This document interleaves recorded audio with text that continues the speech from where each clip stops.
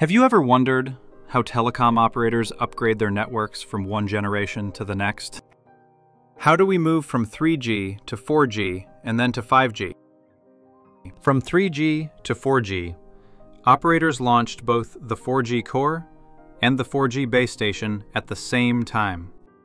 It worked, but it was costly and very abrupt. So, for the 4G to 5G upgrade, they needed a smoother, step-by-step approach. So operators want to introduce either 5G core or 5G base station and utilize 4G network for the other part. This way of deploying 5G dependent on the existing 4G network is called non-standalone 5G. Non-standalone means 5G runs with support from the existing 4G network. So, which do we introduce first? 5G core or 5G base station? In practice, operators deployed 5G base stations first and connected them to the 4G core. Why this order? Because the 4G core has higher capacity to support 5G base station. So adding a 5G base station did not overload it. This lets users get faster data from 5G base station and higher layer control messages from 4G base station without waiting for a new 5G core. This widely adopted deployment is called ENDC. In other words, ENDC is a specific deployment of non-standalone. And non-standalone is a special case of dual connectivity.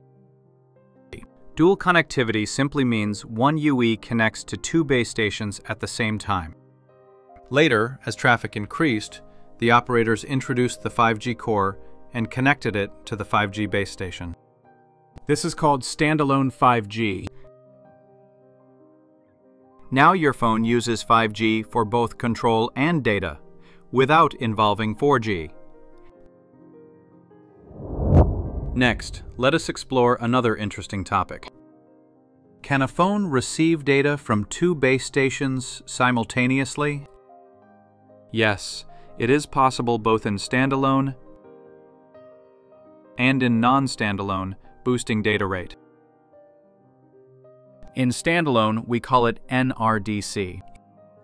In both scenarios, the 5G base station's PDCP layer usually splits the data, it sends some to its own RLC and the rest to the other base station's RLC. Okay, these are the fundamental concepts. Let me repeat.